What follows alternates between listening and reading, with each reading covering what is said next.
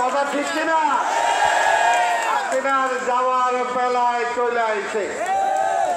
আরে তোমার দয়া কে চাইছে?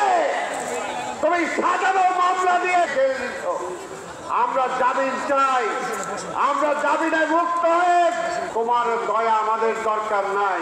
পুলিশকে বলেছে আপনারা আওয়ামী লীগের পক্ষে যাবেন না আপনারা থানার ভিতরে থাকেন আওয়ামী লীগ আর বিএনপি রাজপথে যুদ্ধ হবে।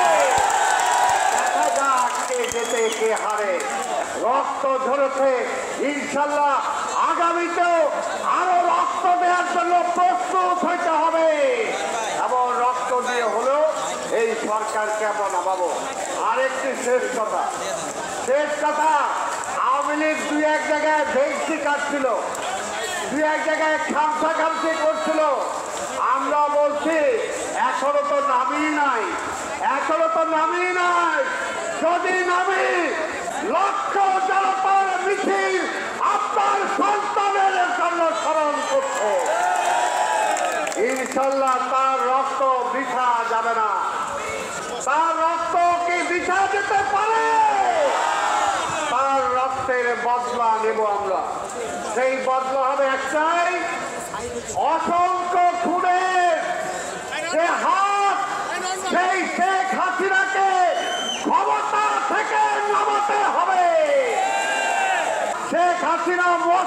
করবে হতে পারে না। তাই আন্দোলনের জন্য আমাদেরকে প্রস্তুতি নিতে হবে। আন্দোলন ছাড়া কোনো বিকল্প নাই। আছে। আমরা কি ভুলে গেছি?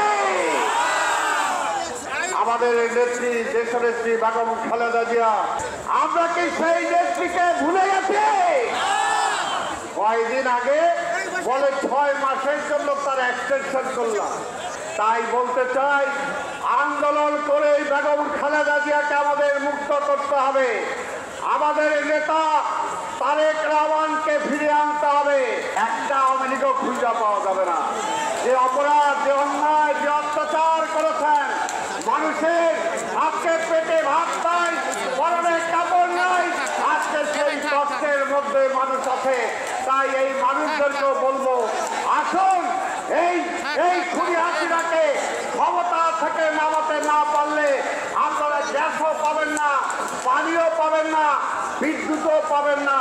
এবং আজকে যে জিনিসপত্রের দাম বাড়তেছে, সেটা থেকেও রক্ষা পাবেন না।